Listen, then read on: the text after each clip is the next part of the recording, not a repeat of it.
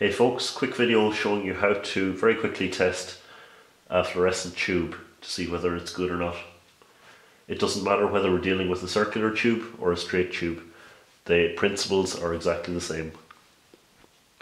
So at each end of the tube you have a set of terminals. On a straight tube we just have the two terminals at each end and on a round tube we are faced with four terminals.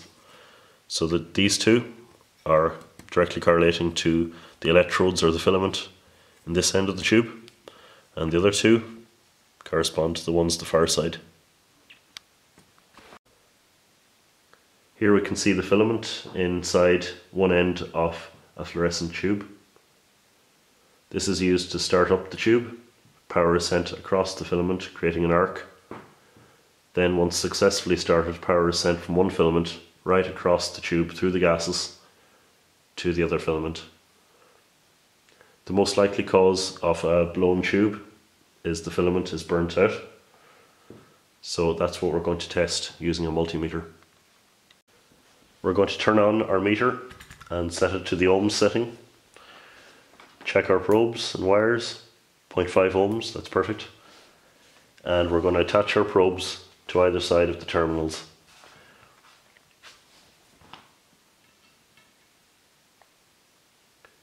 Here we're getting 2 ohms.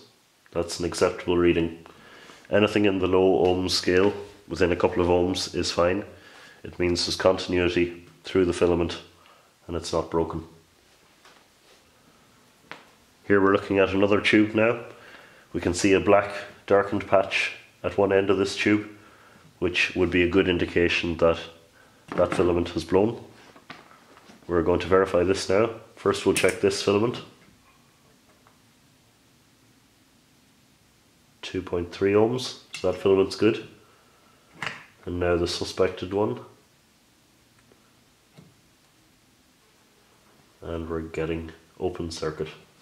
So that confirms that that filament is indeed blown and we need a new tube.